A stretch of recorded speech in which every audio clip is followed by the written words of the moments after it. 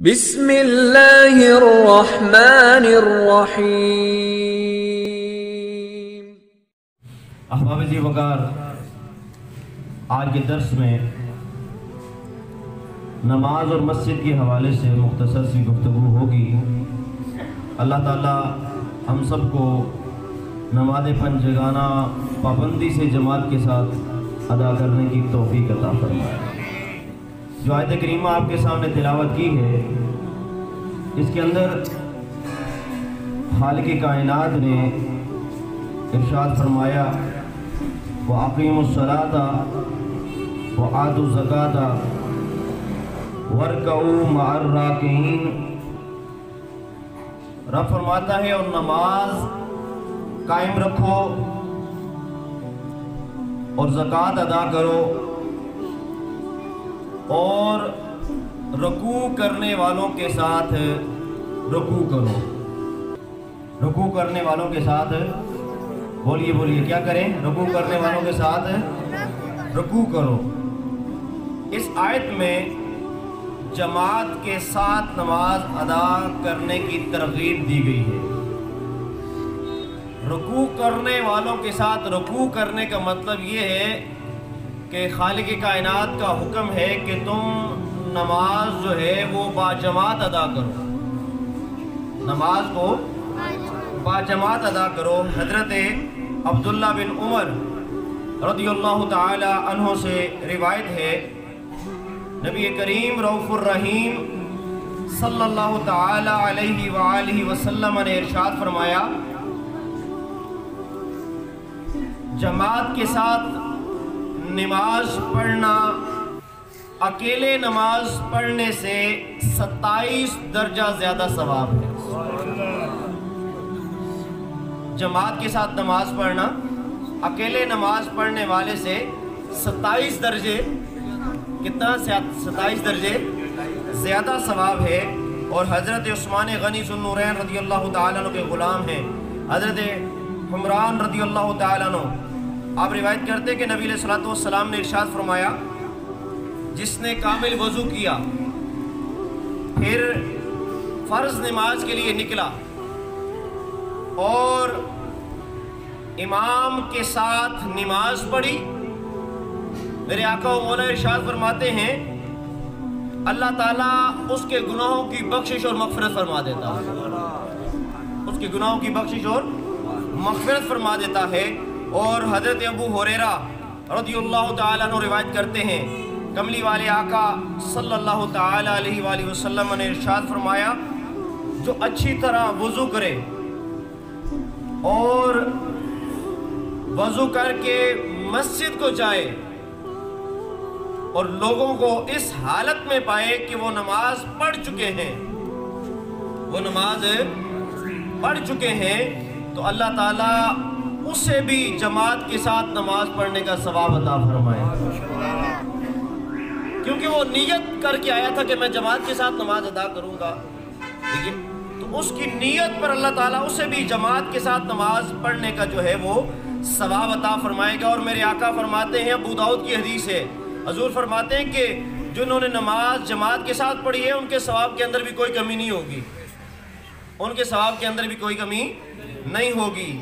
اب سنیے، جو جان بوجھ کر فیشن بن چکا ہے، جان بوجھ کر نماز قضا کرنے کا، یا سستی کر کے نماز پڑھنے کا، یا گھروں کے اندر بغیر شرعی عذر کے گھر کے اندر نماز پڑھنے کا جو فیشن بن چکا ہے، سنیے حدیث مبارکہ، مسلم شریف کی حدیث، حضرت ابو حریرہ رضی اللہ تعالیٰ عنہ روایت کرتے ہیں۔ رسول کائنات صلی اللہ تعالیٰ علیہ وآلہ وسلم نے ارشاد فرمایا، منافقین پر سب سے زیادہ بھاری دو نمازیں ہیں۔ بولیے کتنی نمازیں ہیں؟ دو نمازیں ہیں۔ آقا فرماتے ہیں، ایک فجر کی نماز اور دوسری عشاء، ایک عشاء کی نماز اور ایک فجر کی نماز۔ یہ دو نمازیں منافقین پر بھاری ہیں۔ وہ اکثر ان کے اندر سستی کر جاتے ہیں۔ میرے آقا فرماتے ہیں، اگر ان کو پتہ چل جائے ان دو نمازوں کا کتنا اجر ہے، تو حدیث کے اندر آتا ہے، میرے کملی والے آقا فرماتے ہیں، وہ اپنے چل نہیں سکتے، وہ اپنے آپ کو گھسیٹ کر مسجد کے اندر لے کے آئیں اور مسجد کے اندر آ کر نماز پڑھیں اگر تمہیں پتہ چل جائے کہ نماز عشاء اور نماز فجر کا کتنا ثواب ہے، تو تم چل نہ بھی سکو، تو اپنے اپنے آپ کو گھسیٹ کر لاؤ گے مسجد کے اندر اور مسجد میں آ کر تم اس نماز کو ادا کرو گے۔ اور نبی علیہ الصلوۃ والسلام نے ارشاد فرمایا، بے شک میں ارادہ کرتا ہوں۔ یا رسول اللہ، کیا ارادہ کرتے ہیں؟ آقا فرماتے ہیں، میں ارادہ کرتا ہوں کہ نماز قائم کرنے کا حکم دوں۔ کسی کو کہوں کہ وہ نماز پڑھائے۔ تو حضور فرماتے ہیں، میں اپنے ہمراہ کچھ لوگوں کو لے کر جاؤں، جن کے ہاتھ میں لکڑیوں کے گٹھے ہوں، ان کو لے کر جاؤں۔ اور ان لوگوں کے گھروں میں جا کر آگ لگا دوں جو بغیر شرعی عذر کے اپنے گھروں کے اندر نماز ادا کرتے ہیں۔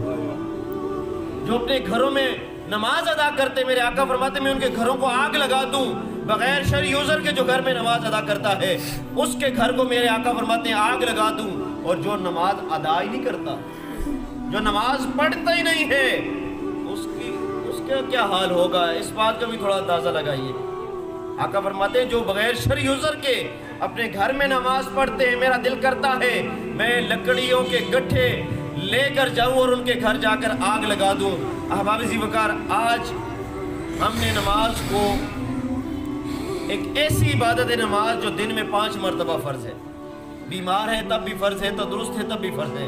امیر ہے تب بھی فرض ہے، غریب ہے تب بھی فرض ہے۔ ہر حالت میں نماز جو ہے، وہ اللہ نے فرض کی ہے۔ پانچ نمازیں دن میں فرض ہیں۔ احباب جی زی وقار حضرت عبداللہ بن عمر رضی اللہ تعالیٰ عنہ۔ اب دیکھیں صحابہ اکرام رضوان اللہ تعالیٰ علیہ مجمعین کتنی نماز کو اہمیت دیتے تھے۔ حضرت عبداللہ بن عمر فرماتے ہیں کہ ایک مرتبہ حضرت عمر رضی اللہ تعالیٰ عنہ اپنے باغ کی طرف تشریف لے گئے۔ مسلمانوں کے خلیفہ ہیں۔ حضرت عمر باغ کی طرف تشریف لے گئے۔ جب واپس آئے تو دیکھا کہ نماز اثر ادا ہو چکی تھی۔